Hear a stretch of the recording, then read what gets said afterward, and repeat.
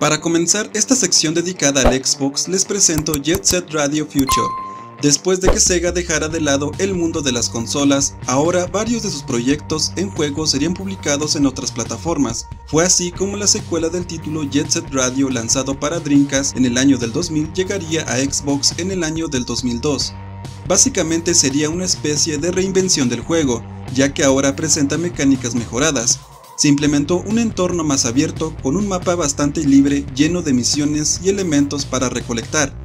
La jugabilidad se basa en controlar una pandilla de patines, quienes deben enfrentar a pandillas rivales en un Tokio futurista. Debemos competir en carreras, lograr mejores maniobras y marcar la ciudad con grafitis con la marca de nuestra pandilla. Lo que más destaca es la asombrosa animación, ya que tanto entornos como personajes tienen un sombreado bastante marcado, que le da un aspecto muy caricaturizado.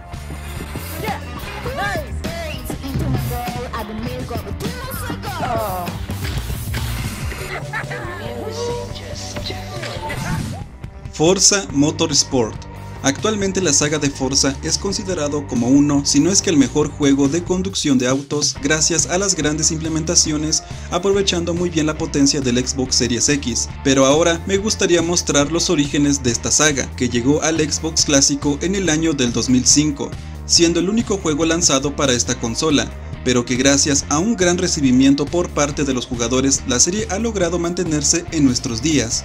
Cuenta con 200 coches, los cuales puedes verlos en los múltiples circuitos o pistas, los cuales algunos son reales y otros ficticios. Es increíble cómo pasa el tiempo, si tú fuiste de los afortunados en conocer los orígenes de Forza, te invito a que vuelvas un poco al pasado y revivas recuerdos de los ayeres.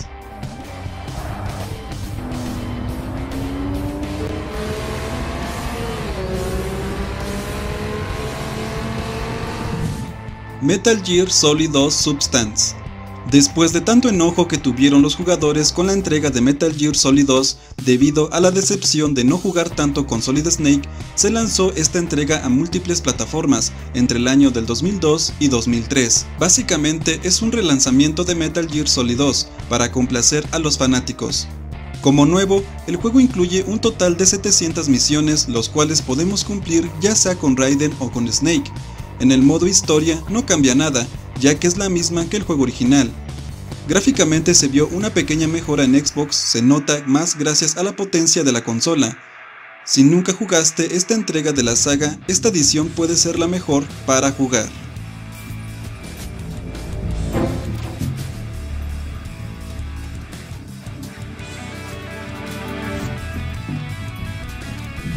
Las crónicas de Riddick, fuga de Butcher Bay.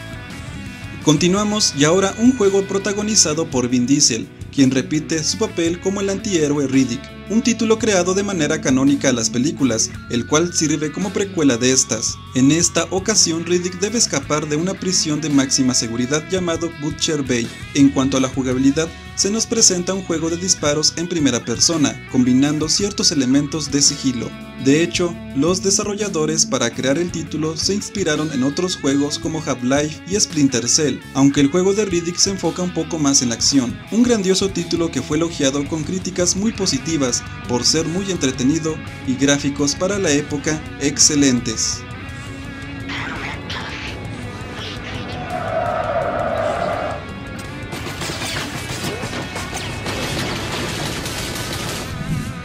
Halo la saga del jefe maestro, ¿quién diría que hoy en día este personaje sigue dando de qué hablar después del primer juego llamado Combat Evolved, un asombroso título de disparos en primera persona que revolucionó el género. Hoy en estos tiempos incluso el primer juego sigue siendo muy popular, tal vez no tanto para jugar el modo multijugador, pero sí para disfrutar su asombrosa campaña lleno de mucha acción, enemigos por doquier, un gran arsenal un diseño asombroso de niveles, en fin, toda una serie de aspectos que le dieron lugar como uno de los mejores juegos de la historia. Sin duda Halo se ha convertido en un gran clásico, siendo de esos juegos que siempre te levantarán el ánimo al darle una siguiente vuelta.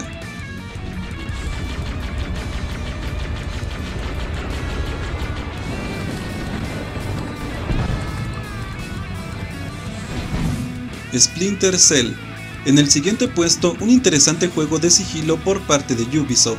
Aquí tomamos el control del agente Sam Fisher, el cual está entrenado para cumplir misiones encubierto. En esta ocasión debe cumplir una misión de rescate en Georgia. Fisher, al adentrarse más en esta difícil tarea, se da cuenta de que hay algo más.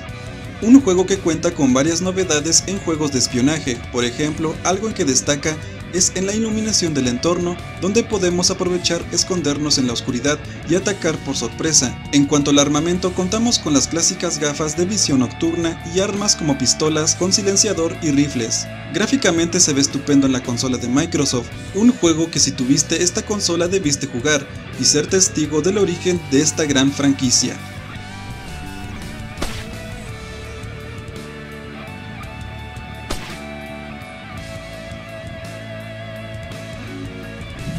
Panzer Dragon Horta. Ahora un peculiar juego de dragones. A pesar de que se ve interesante, esta saga vio su última entrega con el juego de este puesto. Es un juego de disparos de rieles donde podemos controlar la mira del apuntado, aunque no es posible controlar el dragón. El juego se basa en derribar a los enemigos antes de que desaparezcan o estén fuera de pantalla, a excepción de los jefes. Aquí seguimos a la protagonista llamada Horta, quien es rescatada por un dragón misterioso de una prisión y ahora debe salir adelante y defenderse de un imperio y su ejército. El dragón de Horta puede transformarse en tres fases, los cuales tienen habilidades diferentes como mayor o menor agilidad. Cada una de estas transformaciones pueden ser mejoradas recolectando Jin Base de otros enemigos. Un juego lleno de mucha acción que vale la pena jugarlo para recordar viejas épocas.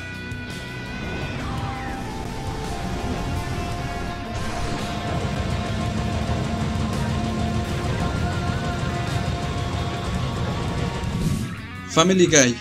El siguiente es un juego basado en la popular serie animada Padres de Familia. Fue lanzado para las plataformas PlayStation 2, PlayStation Portable y por supuesto en la Xbox. En cuanto a la historia, es un reflejo de algún episodio de la serie donde los únicos personajes jugables son Stewie, Brian y Peter. La jugabilidad recuerda títulos más arcades como el juego de los Simpsons de maquinitas, Fuera de eso, es un entretenido juego que cuenta con todo el estilo cómico de esta serie, e independientemente de dónde lo quieras jugar, vale la pena para pasar un buen rato, y más si eres fanático de padres de familia.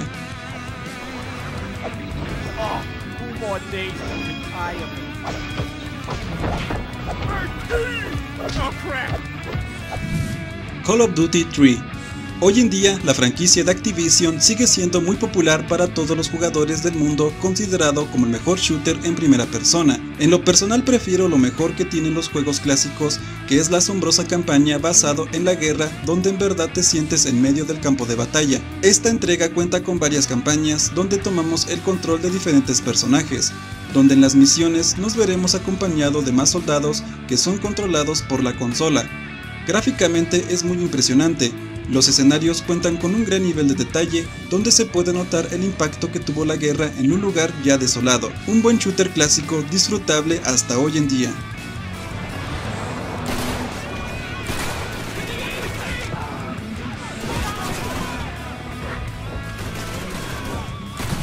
X-Men The Official Game. Una gran época en los superhéroes vimos una trilogía de películas de los X-Men y también lanzamientos de increíbles videojuegos como el de este puesto, que a pesar de los años es considerado como uno de los mejores juegos de superhéroes. La trama de este título abarca algunos acontecimientos de la primera película, pero se centra más en los acontecimientos de la segunda y tercera película, a la vez, trata de resolver algunos misterios como el por qué Nightcrawler no sale en X-Men la batalla final. En cuanto a la jugabilidad, durante los diferentes niveles podemos controlar a tres de los X-Men, Wolverine, Nightcrawler y Iceman, los cuales dependiendo de la misión podremos usar las habilidades únicas de estos personajes. En algunas ocasiones tendremos ayuda de otros personajes en el combate, un juego al puro estilo clásico de acción y aventura que debiste jugar. Y si no, créeme que aún vale la pena darle la oportunidad.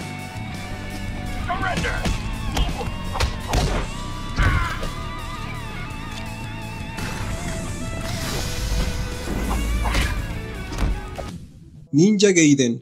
El primer Ninja Gaiden que salió para Xbox fue lanzado en la consola en el año del 2004. Es un juego de acción tipo hack and slash, desarrollado por Team Ninja, Aquí controlamos al maestro ninja Ryu Hayabusa en su búsqueda para recuperar una espada robada y vengar la masacre de su clan.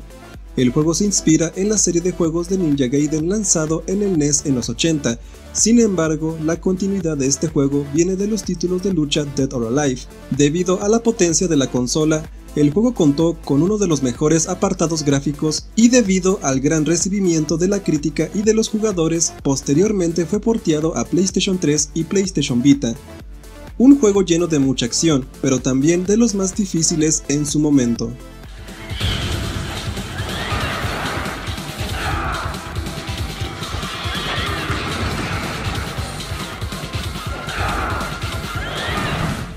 Dead or Alive 3. Continuamos en el mismo universo, pero esta vez con el juego de peleas de la saga Dead or Alive. Desarrollado igualmente por Team Ninja, lanzado para Xbox en el año del 2001. Mejoró varios aspectos en comparación a sus predecesores, ya que la jugabilidad, a pesar de que no cambia mucho a Dead or Alive 2, de las mejores cosas que tiene la tercera entrega es que agrega mecánicas que sirven como ayuda para los más principiantes, el éxito de este tercer juego se vio reflejado en las críticas tan positivas que recibió, pero además por las ventas que logró juntar, siendo de los juegos más vendidos del primer Xbox.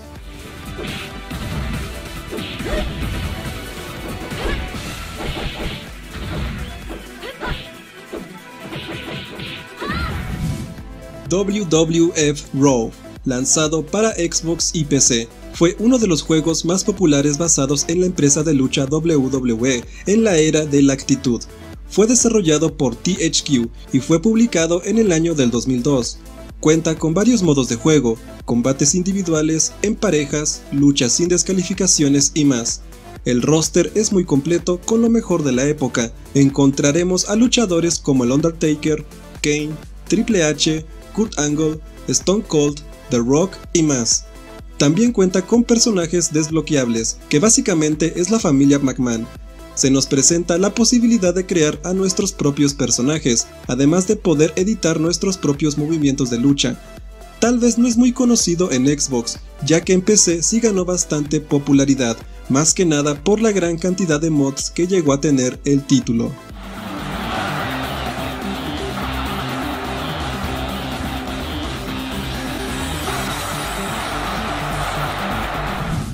Burnout. Antes del nacimiento de esta saga, ya se habían visto varios tipos de juegos de carreras, pero sin duda nada como Burnout. El primer juego que demostró lo que el motor gráfico RenderWorld era capaz de hacer.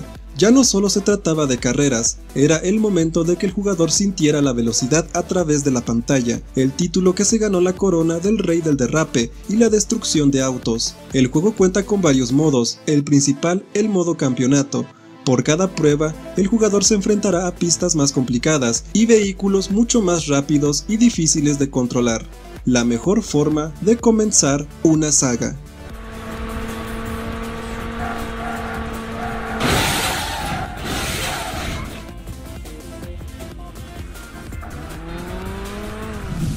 Grande Auto 3 el juego de acción de mundo abierto por excelencia, siendo el tercer juego de la saga ambientado en el año del 2001, en una ciudad ficticia llamada Liberty City, Creo que todos debemos estar agradecidos con esta entrega, ya que fue el primero en ser elaborado en 3D, lo que en su momento ofreció a los jugadores un mundo de posibilidades para poder interactuar en un juego.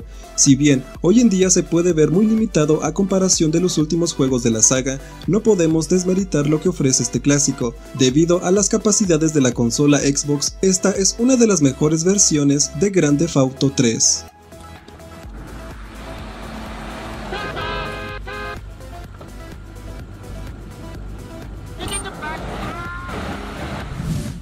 Enter the Matrix.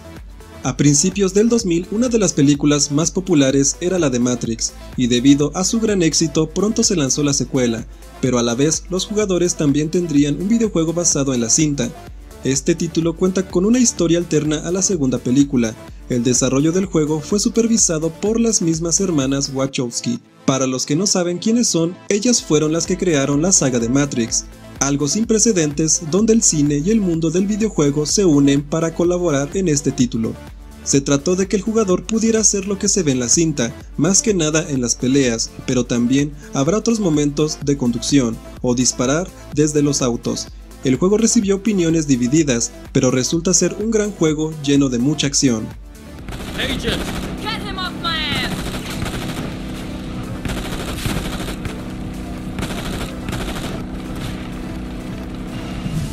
Loons, The Fight for Fame. Ahora uno de los juegos exclusivos del primer Xbox, el cual fue desarrollado por Warthog Games, publicado por Infogames y lanzado para la consola en el año del 2002. Es un juego de lucha el cual está basado en las caricaturas clásicas de los Looney Tunes. Los combates se dan en arenas donde hasta cuatro personajes luchan entre sí hasta noquearse. En las arenas podremos usar varios artefactos que podemos usar contra los oponentes, todos estos bajo la marca Acme. El juego se ve bastante bien y resulta muy divertido gracias a las animaciones creativas y por su jugabilidad. No recibió críticas muy positivas, pero es un gran recuerdo para quienes tuvieron la oportunidad de jugarlo.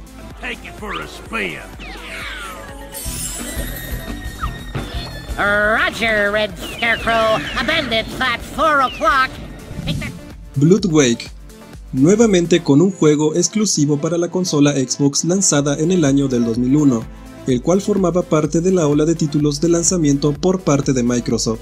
Lo que tenemos aquí es un título de combate naval, donde se nos presenta una gran variedad de buques de guerra. Cuenta con un modo historia, el cual consta de 28 misiones, con una amplia variedad de tipos de misiones de ataque, defensa y escolta, cada buque tiene su propia configuración de armas, los cuales pueden ser desde pistolas, cañones, torpedos, cohetes y minas, pero también habrá armas especiales las cuales se irán desbloqueando, un sólido juego y de los mejores dentro de su género en la época. Lo lamentable es que nunca logró tener la popularidad por parte de la fanaticada.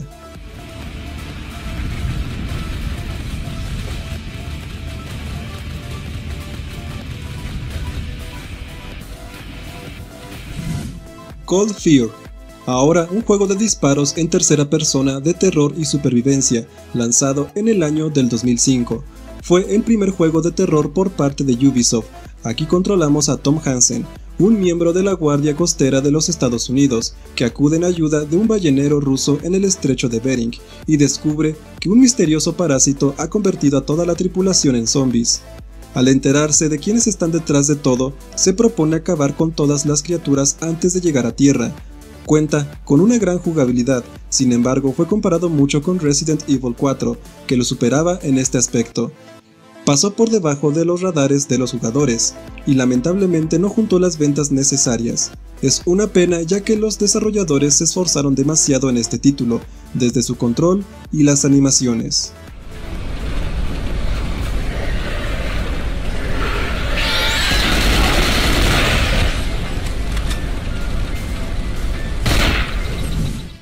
Conquer Life and Reloaded. RAR fue uno de los mejores estudios que llegó a desarrollar varios juegos buenos en Nintendo 64. Sin embargo, en el año del 2002, este estudio fue comprado por Microsoft y una de las primeras aportaciones para el Xbox fue en desarrollar el remake de Conquer Bad Fur Day, que se lanzó en Nintendo 64. El juego cuenta con la misma trama que del juego original, Casi no se notan cambios, salvo en el diseño de algunos personajes y algunas armas nuevas. Lo que hace especial este juego es que incluye un modo multijugador, usando el servicio de Xbox Live. Este modo consta de diferentes modos de juego, como captura la bandera o los modos estándar Deathmatch. El juego resultó ser muy completo, algunos fanáticos del original no estuvieron muy contentos con la censura, pero fue bien recibido por la nueva presentación en gráficos, siendo de lo mejor en 2005.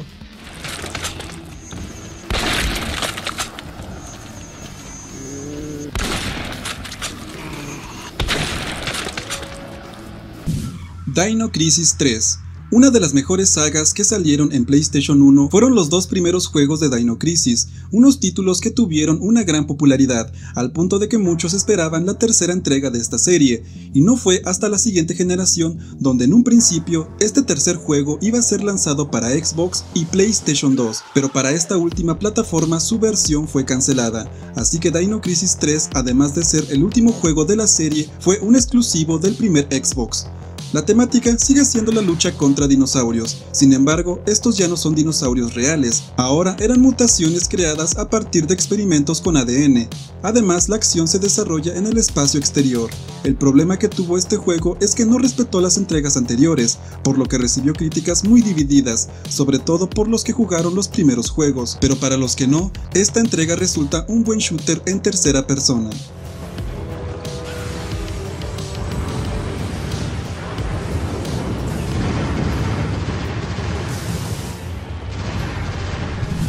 Fable un juego de acción y aventura RPG de mundo abierto, videojuego lanzado originalmente para Xbox en el año 2004. En su momento fue uno de los juegos de este género más particulares ya que buscaban crear un RPG que llamara la atención de las personas que jamás habían jugado un juego así. Aquí controlamos a un solo personaje en una perspectiva en tercera persona, podemos interactuar con los distintos NPC, habrá misiones principales para completar la historia, pero también habrá misiones opcionales para obtener más recompensas. El juego nos sitúa en la región de Albion, el cual está plagado de monstruos y bandidos, a los que se les puede evadir o enfrentar. Habrá cuatro formas de pelear, el cuerpo a cuerpo, armas de corto alcance, armas de largo alcance y también podemos hacer uso de magia, de los juegos más completos del género RPG de la época.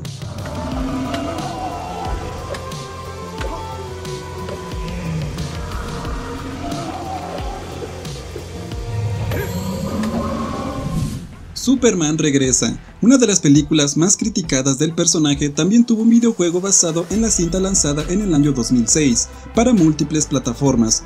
El juego sigue los acontecimientos de la cinta, aunque tiene aventuras extra para alargar las horas de juego, donde nos enfrentaremos a una gran cantidad de supervillanos. Y aunque gráficamente no está del todo mal, sobre todo en Xbox, es un juego que intentó limpiar el nombre de Superman en los videojuegos, ya que este personaje no ha logrado destacar en esta industria, y aunque este título tiene sus cosas buenas, se quedó lejos de ofrecer una buena experiencia en los zapatos de Superman.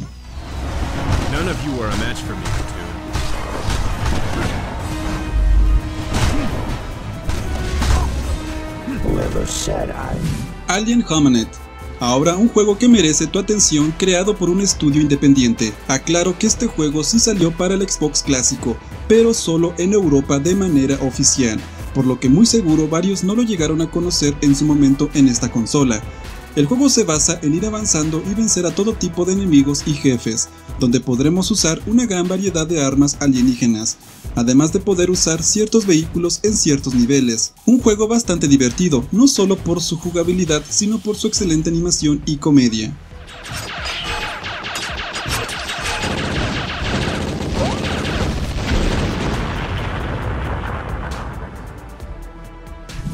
Souls Calibur 2 un juego de lucha lanzado originalmente en 2002 para arcades, posteriormente lanzado en 2003 para consolas. No presenta varios cambios respecto a su antecesor, salvo en la calidad gráfica y el agregado de personajes nuevos además de personajes exclusivos diferentes para cada consola. Para el caso de Xbox, su versión incluye al personaje Spau. En cuanto a la jugabilidad, no hay mucha diferencia al primer juego, aunque tiene cosas buenas, el juego recibió críticas divididas. Debido a la falta de innovaciones, no lo consideran una digna secuela, pero sigue siendo un gran título de peleas que no debes dejar pasar.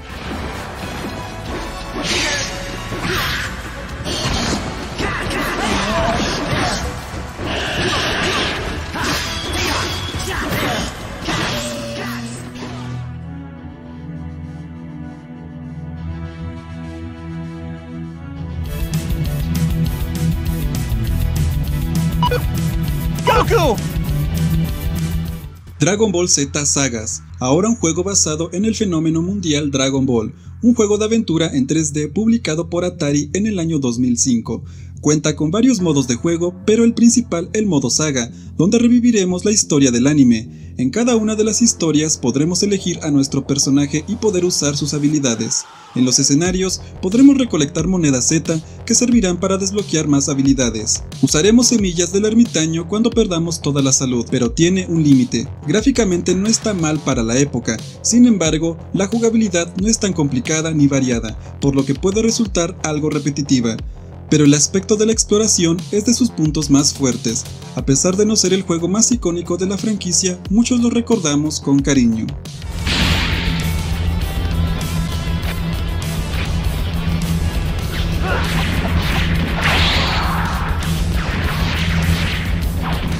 Fahrenheit es un juego de aventura interactiva, terror y misterio en el que toda decisión tiene un efecto directo en el desarrollo de la historia, en un misterioso despliegue. Fue lanzado en el año 2005. La trama de esta escalofriante historia ocurre en la ciudad de Nueva York, donde han ocurrido una gran cantidad de misteriosos asesinatos, donde gente poseída pierde la cabeza y empieza a atacar a las personas. Lucas Kane, el protagonista, es también poseído y ataca a una persona en el baño de un restaurante. Es ahí que él decide investigar qué clase de fuerza sobrenatural está detrás de todo, antes de que llegue la policía para juzgarlo por su crimen. Un juego muy bien recibido por la crítica, sobre todo por su gran historia y guion, que lo llevó a ganar varios premios. Hello? Lucas, it's good to hear from you. I thought I called to find out if maybe you wanted to go to Mom and Dad's tomb together. Burnout 2 Point of Impact lanzado originalmente en PlayStation 2 en 2002. Después fue lanzado a otras plataformas incluyendo el Xbox en el año 2003. Es un juego de carreras donde competimos contra la consola o con otros jugadores. Las pistas incluyen tráfico, rutas complejas y obstáculos que hacen difícil recorrerlas a altas velocidades. También debemos usar el turbo para sobrepasar a los rivales. La versión de Xbox recibió características nuevas, cuenta con 21 nuevas carcasas, además incluía el modo Xbox Live, siendo la versión de esta consola la única que tenía el modo online, y además siendo el primer juego de Burnout que tenía modo en línea.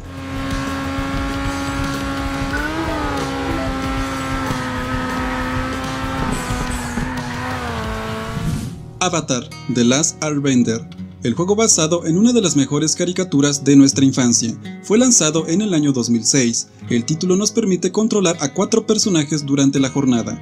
Aang, Katara, Aru, Osoka y hasta Momo. Cada personaje hace uso de sus armas y habilidades, mejoradas con la experiencia ganada al derrotar enemigos. En los niveles habrá ítems que nos harán el camino más fácil, como armaduras, chi, accesorios encantados y pociones curativas. Como pueden ver, es un gran juego basado en la serie, que te permitirá revivir las más grandes batallas vistas en la caricatura, así que no dejes pasar este juego para recordar un poco el pasado.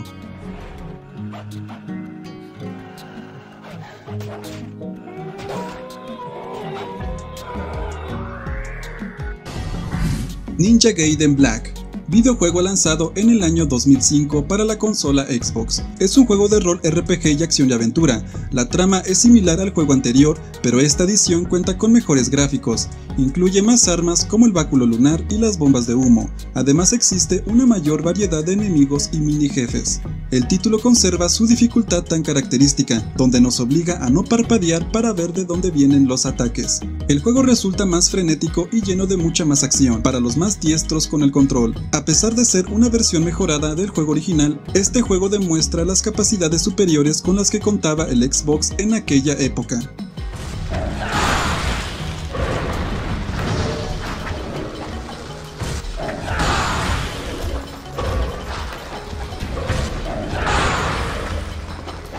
Star Wars, Caballeros de la Antigua República. Este es uno de los primeros juegos RPG basados en el universo de Star Wars, lanzado para Xbox y Windows en el año 2003. El juego se ubica 400 años antes de la formación del Imperio Galáctico. Es ahí cuando un malvado señor Sith llamado Darth Malak inicia un ataque contra la antigua república. Aquí nosotros debemos elegir a nuestro personaje de entre tres diferentes clases. Este personaje lo podemos personalizar. La perspectiva del juego consiste en recorrer la galaxia buscando los elementos necesarios para destruir la Forja Estelar, la fuente de los recursos militares de Malak. Maneja un sistema de juego de rol en tiempo real, podemos interactuar con otros personajes, y debido a nuestras acciones, nuestro camino se va dirigido por el bien o por el lado oscuro de la fuerza. El juego recibió críticas bastante favorables, ha ganado numerosos premios y es considerado uno de los mejores juegos de Star Wars.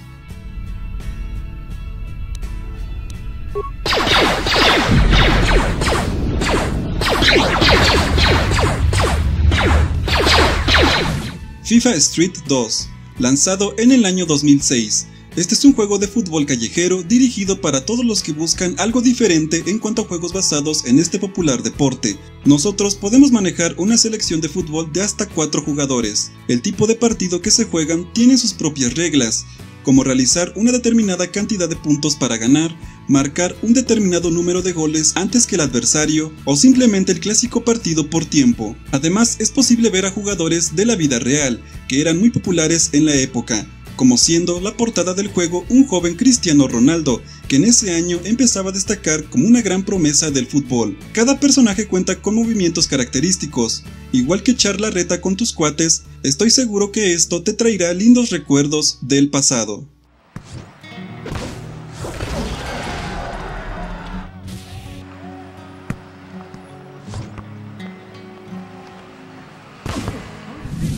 Doom 3 Resurrection of Evil videojuego de disparos en primera persona lanzado para PC y Xbox durante el año 2005. Es un paquete de expansión y a la vez secuela de Doom 3, donde han pasado dos años de los acontecimientos de aquel juego. La UAC detecta una extraña señal de uno de sus satélites marcianos, por lo que envía a un equipo para que investigue. Ellos encuentran una especie de artefacto que alerta a los demonios y comienza una nueva invasión. El juego agrega nuevas características en cuanto a la jugabilidad, como la herramienta Graver, una pistola de gravedad que permite recoger y mover objetos, pero también atrapar las bolas de fuego que lanzan los enemigos y mandárselas de regreso. El juego presenta una mejora sustancial a Doom 3, ya que fue mejor recibido.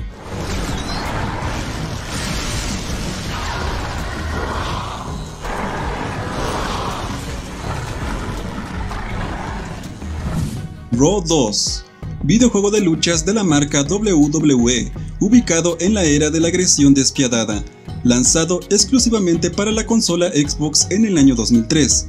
Por primera vez en la saga se incluye el modo temporada. Esto permite a los jugadores la posibilidad de crear nuevos luchadores, llevar peleas en los vestuarios, formar alianzas y contratar gerentes. Para completar con éxito una temporada, el jugador está obligado a jugar a 12 meses de Raw y SmackDown, así como pagos por evento, acontecimientos y terminar la temporada, ya sea con el campeonato de la WWE o el campeonato mundial de peso pesado.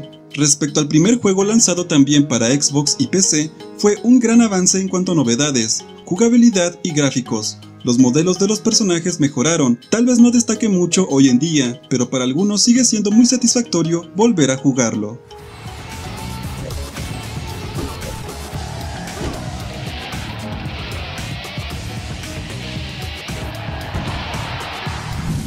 The Warriors, lanzado para múltiples plataformas en el año 2005.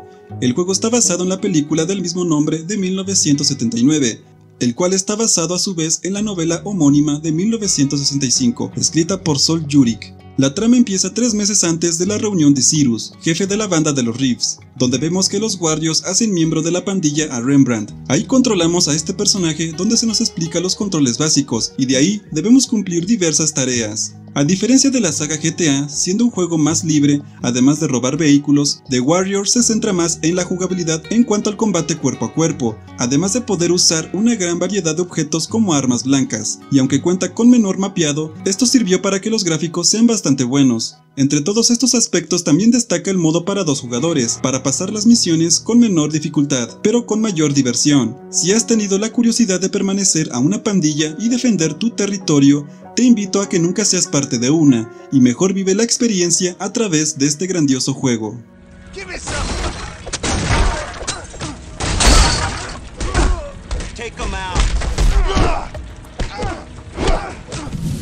Def Jam Fight for the New York Debido a la popularidad del hip hop, EA Games decidió publicar este juego donde podemos enfrentar en peleas callejeras a varios raperos populares de la época, tales como Lip Kim, Snoop Dogg, Method Man, Slick Rick, etc. A diferencia del juego original, cuenta con más modos de lucha, donde al elegir al personaje podemos elegir entre estos estilos, street fighting, kickboxing, artes marciales, lucha libre y sumisiones. Esta vez los escenarios no están solo de adorno, pues ahora es posible usarlo para causar más daño al oponente, como estrellarlo en las barreras, contra la pared, usar las puertas para embestirlo y mucho más. Podremos usar ataques más poderosos usando la barra de impulso que aumenta aplicando golpes certeros o por el carisma del peleador. Esto en el caso de los personajes creados donde gastamos el dinero para ponerle los mejores aditamentos y aumentar el carisma del peleador. De los mejores juegos de pelea de aquella época, que mostraba algo diferente dentro del género.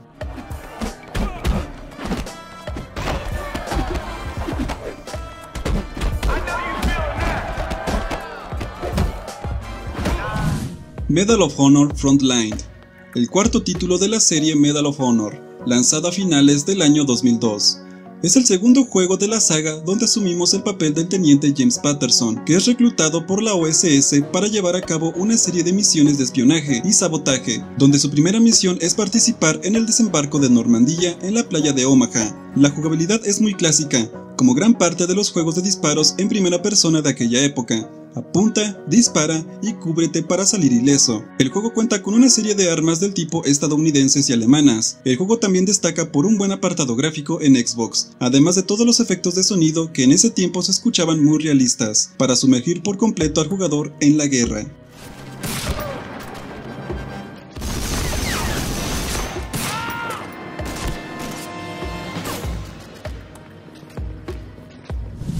Bloody Roar Extreme Bajo el mismo nombre con el que se le conoció en Japón, este juego fue lanzado para el Xbox original en el año 2002, siendo porteado después de ser lanzado originalmente en Nintendo GameCube. La historia cuenta que los Swan Trompos y humanos viven en paz ya que se funda un lugar llamado Reino. Sin embargo, corre el rumor de que en este lugar se están haciendo experimentos con los Swan Trompos.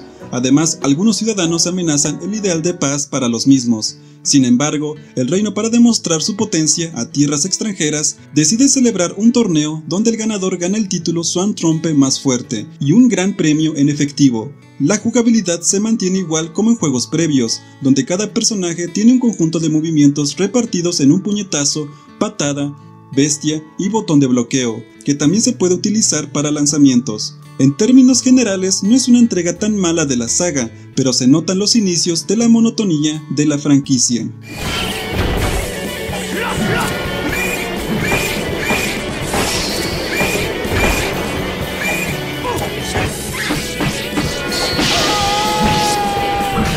Flat 2 videojuego de carreras lanzado en el año 2006, el cual se enfoca más en las carreras callejeras, esta entrega recibió algunas mejoras como por ejemplo la tracción de los neumáticos, que permite un mejor control del vehículo. El juego tiene tres clases de autos, clase derby, clase callejera y clase callejero o urbana. Los circuitos y arenas cuentan con un mejor nivel de detalle, gran parte de estos están basados en zonas de Estados Unidos. El juego cuenta con un modo acrobacias, en el que el jugador debe lanzar al piloto a través del parabrisas del coche y hacer todo tipo de trucos. Es uno de los juegos más divertidos del género y de los mejores basados en carreras clandestinas un juego que logró destacar frente a otros grandes como Burnout o Need for Speed, aunque no llegó a tener el mismo nivel de popularidad que aquellas franquicias.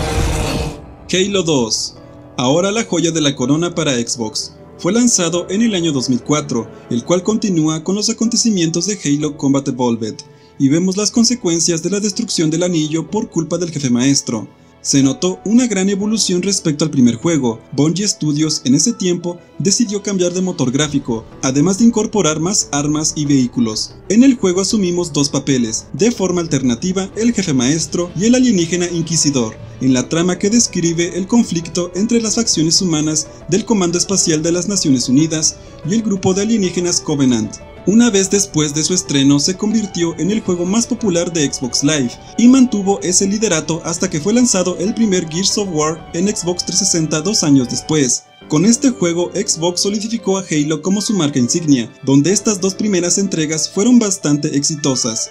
Por su parte Halo 2, además de contar con mejores gráficos, un mejor control, tuvo también una de las mejores bandas sonoras, sin embargo, para los que somos latinos, recibimos uno de los doblajes más raros, pero graciosos. Dejando eso de lado, hay muchas razones para volver a jugarlo, al menos la campaña de Halo 2.